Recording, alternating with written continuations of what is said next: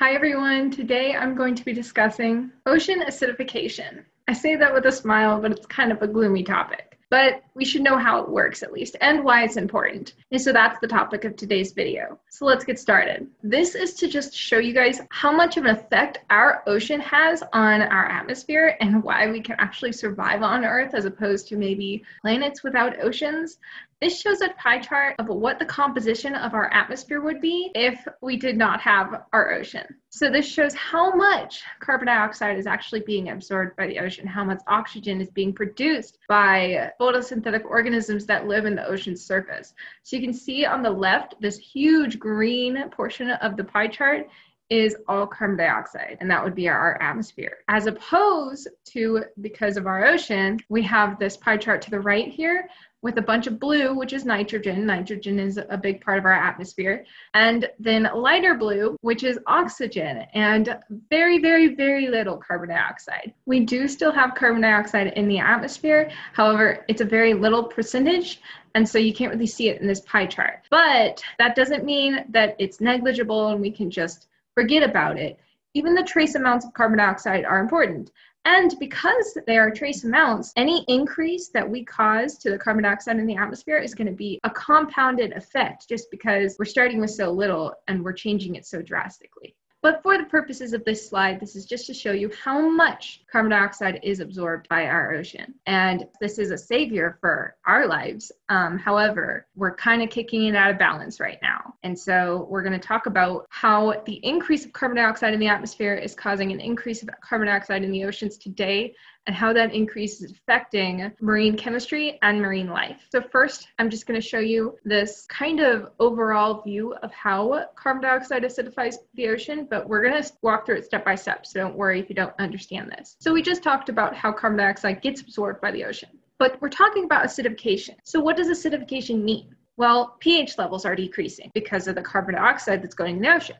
But how is this happening? Well, pH level decreasing just means an increase in hydrogen ions. Well, how does hydrogen ions have to do with carbon dioxide? Well, let's talk about it. So, first, when carbon dioxide goes into the ocean, it gets converted to carbonic acid because it reacts with water. This carbonic acid has the formula H2CO3, and we know that this carbonic acid can break down by releasing a hydrogen ion and can even break down further to release another one. And this forms both bicarbonate and carbonate ions in a reaction.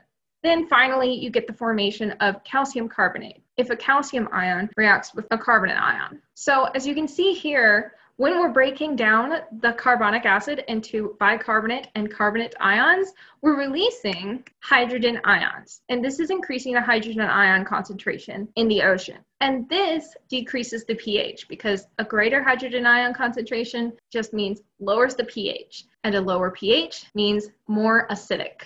But you might have heard that organisms that make their skeletons and hard parts out of calcium carbonate are dissolving because of ocean acidification.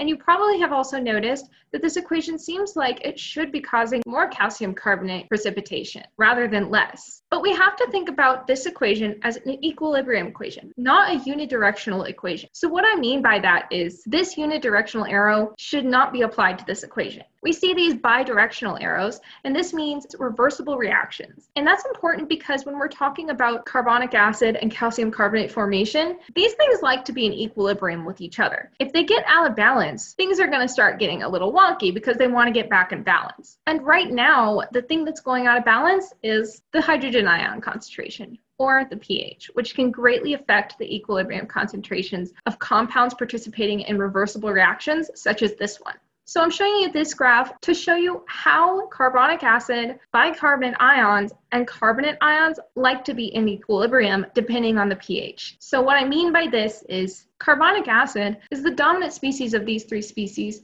when the pH is less than 6, so a more acidic pH. Whereas bicarbonate ions are going to be dominant around pH 6 to 9. And then finally, carbonate ions are dominant at a very alkaline pH or basic pH of over 10. What this means for calcium carbonate organisms is that anything that's an acidic pH is going to make it really hard for the carbon ions to be free from hydrogen ions long enough to bond stably and happily with those calcium ions. Because these hydrogen ions like to gobble up those carbonate ions at lower pHs, this is really what's taking away the carbonate ions from the calcium carbonate organisms and overall dissolving them. Just so I can make it a little more clear, I'm going to show you this one more time. This is the hydrogen ion increase. I already showed you this a bunch of times, I know. But what's happening here is you're going to create all these hydrogen ions really just available to react with these bicarbonate and carbonate ions in the water that are already there because of the dissociation of carbonic acid. And this is just going to keep decreasing and decreasing the amount of carbonate ions available for calcium to bond with. Basically, the hydrogens are bullies and calcium is the victim right now. It wants to bond with the carbonate ions, but the bullies are pushing it out of the way. Now, just to give you a little bit of a visualization of calcium carbonate dissolving, this is actually a method that we use in geology to determine what type of rock we're looking at in the field. Sometimes if we don't know if it's limestone or dolostone or a different type of sedimentary rock, we use acid to see how much it reacts. And then we can tell that it's either calcium carbonate if it reacts or not calcium carbonate if it doesn't react. And so you can see this reaction happens right away because like we talked about, the calcium carbonate is not stable at low pHs. So this is actually occurring in the ocean right now as it continuously gets more acidic. Now, it's not occurring this fast, but that's not to say that it's not fast on a geologic timescale. It is fast on a geologic timescale because we're increasing the carbon dioxide in the atmosphere at a rate never seen before in Earth's history. So, the rate on a geologic timescale of ocean acidification is very fast. Lastly, I just want to show you these graphs of carbonate levels in the year 2000 and projected carbonate levels for the years 2050 and 2099. Now, the colored bar here at the bottom shows the legend of what you're seeing in, in terms of the colors on the graph and it's actually a measure of the saturation state of aragonite. Now, aragonite is a mineral that has the formula calcium carbonate. It's just like calcite, but just a different crystal structure. And what's important about this graph, as I wrote here on the bottom right, this aragonite saturation measurement is basically a measure of the carbonate ion concentration. And at the very bottom center of this slide, you can see here they say exposed shells likely to dissolve anywhere from zero to one on the scale of aragonite saturation.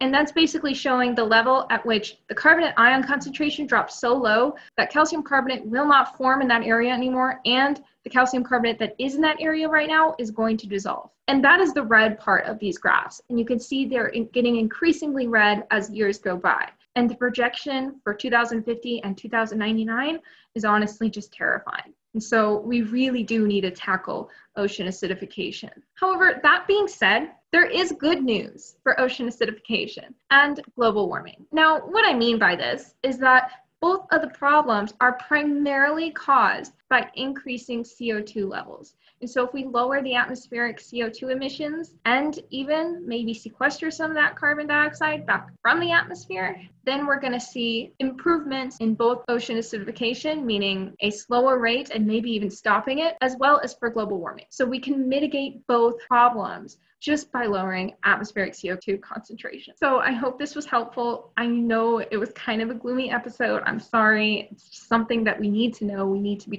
talking about, and we need to try and fight.